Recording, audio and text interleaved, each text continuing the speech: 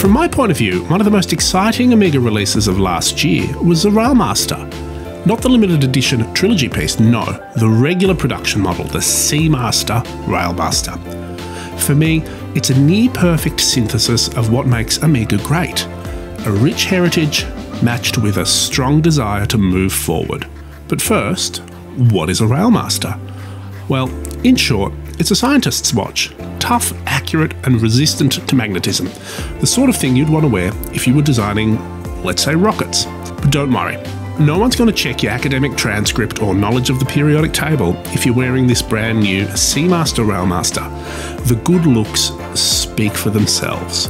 That clear, legible dial design with vintage look arrowhead markers and hands, matched to the lollipop on the second hand, lets everyone know that this is a heritage inspired piece.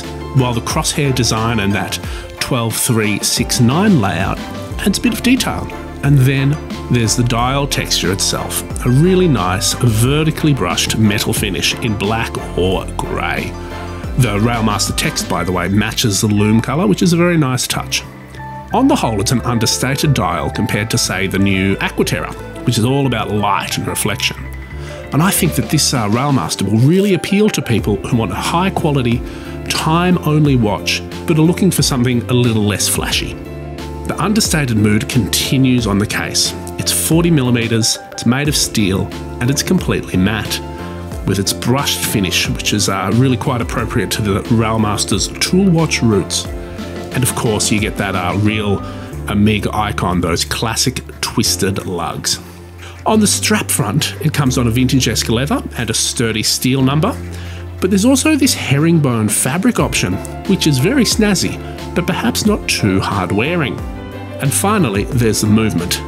This watch doesn't just honour the Railmasters of yore in name only, it also lives up to the promise of a cutting edge watch. The Calibre 8806 might be hidden away behind a solid caseback, but it's very serious watchmaking.